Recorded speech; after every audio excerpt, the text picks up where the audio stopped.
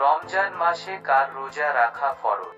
শুধুমাত্র পুরুষদের, শুধুমাত্র নারী, শিশু ও বয়স্কদের, সমস্ত প্রাপ্তবয়স্ক মুসলমান।